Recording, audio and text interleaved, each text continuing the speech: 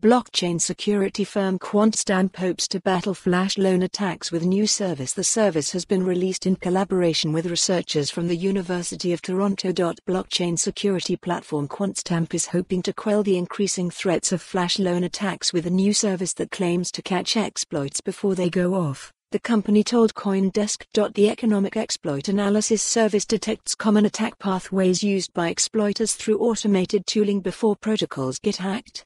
The service has been released in collaboration with researchers from the University of Toronto. In the first half of 2023 alone, an estimated $207 million worth of tokens were stolen through flash loan attacks. A flash loan is an uncollateralized loan provided by a smart contract that can be taken out for as short as a single transaction.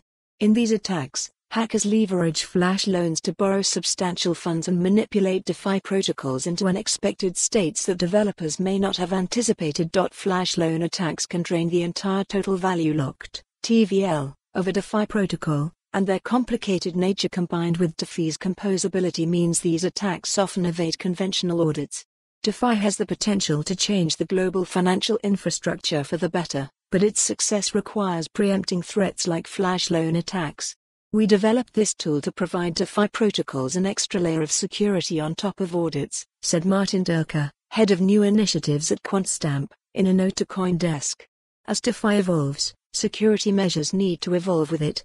Services like Economic follow the URL for the full article. For more on this story, visit the news article link.